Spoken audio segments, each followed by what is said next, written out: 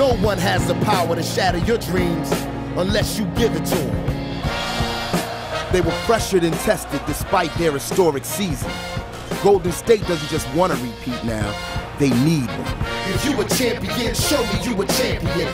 Time's not healed the wound, the pain is still there. The Crown Kings Cavaliers want their trophy this year. Revenge, rematch, remix. And real champions prove that they're champions. Crowd ready to roar here at Oracle Arena for game one of these NBA Finals. The rematch from last year, Warriors and Cavaliers, best of seven to decide an NBA champion. They were the best in the East all season long. The Cleveland Cavs dominated in the playoffs. And now facing the team that denied them last year, the Golden State Warriors, who were severely tested so far in this postseason.